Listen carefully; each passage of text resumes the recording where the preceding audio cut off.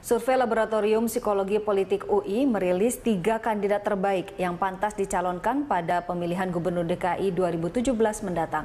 Ya, ketiga nama itu adalah Gubernur DKI Jakarta saat ini, Basuki Cahayapurnama, Wali Kota Bandung Ridwan Kamil, serta Wali Kota Surabaya Tri Risma hari ini.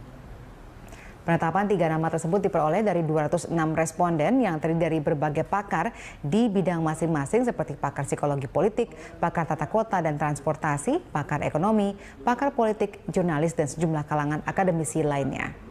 Hasil survei itu menunjukkan Ahok lebih dominan karena dipilih oleh 79,74 persen pakar sebagai tokoh yang paling direkomendasikan menjadi gubernur Jakarta.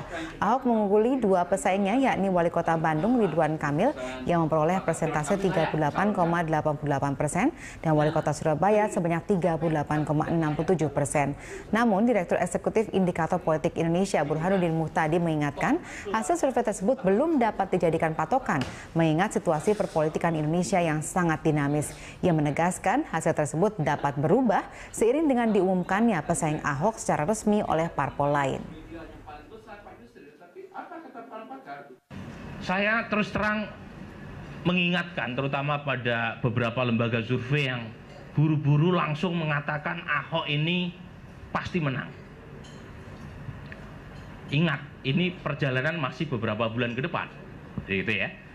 Jadi persepsi yang dipotret oleh surveyor terutama dengan mereka yang memakai populasi umum itu persepsi yang dibatasi oleh constraint waktu. Ingat ya pada waktu survei itu dilakukan maka pada saat itu pula data relatif valid untuk menebak preferensi dan perilaku pemilih. Bahwa Ahok dalam beberapa bulan diterpa oleh banyak isu tidak goyah oleh isu reklamasi, isu sumber waras. Iya, itu like or not itu Anda harus akui Ahok dua bulan terakhir meskipun diserang dari berbagai macam sisi, disudutkan dari delapan penjuru mata angin, belum ada efeknya secara elektoral dan belum ada dampaknya di tingkat elit berpendidikan. Tetapi apakah kemudian data itu tidak berubah sampai Februari 2019?